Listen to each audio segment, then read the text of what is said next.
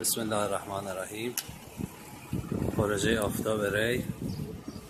بعد از چهار سالی که اینجا پیش فرو شده و کسی که سازنده بوده واحده رو تحویل نداده و متواری شده و مجددا که دستگیر شده. الان حدودش هفت هشت ماهی هم هست که پرونده در اختیار دادسرا است. مردم به علت اینکه تورم خورده و اینکه تکلیفش مشخص نیست و خواستار رسیدگی عاجل به پرونده هستند من باب تورم و این ضرری که کردن. ولی متاسفانه همچنان مقداری بلا تکلیف هستن و امیدوارن که هرچی زودتر مشکلشون رفع بشه به امید خدا. و عزیزانی که میفرمایند فساد رو اعلام کنید. یه فساد خیلی بزرگ در شهر ری پروژه آفتاب ری.